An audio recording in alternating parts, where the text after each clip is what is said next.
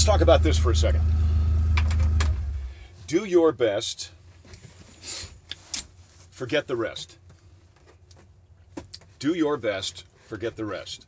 Do your best, forget the rest.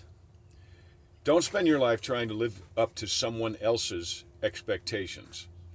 Or worse, don't spend your life trying to live down to someone else's expectations. Live up to your own expectations. You have something to do. You have a plan. You have a design. You are on track.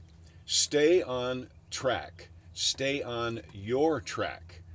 Do your very best at what you are doing. None of us are going to get out of this alive. And at the end of the day, you don't want to be saying, Man, I wish I didn't listen to so and so.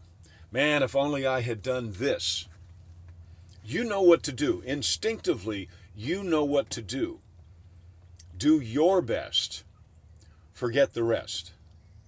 Now, don't just disregard people and say, no, no, no, I don't want to talk about that. I don't want to talk about it. I mean, your friends are going to give you advice, and, and uh, it's just kind of because they're your friends. But make sure you filter it through your brain and at the end of the day, make your decision. Don't make their decision. Make your decision. Do your best. Forget the rest.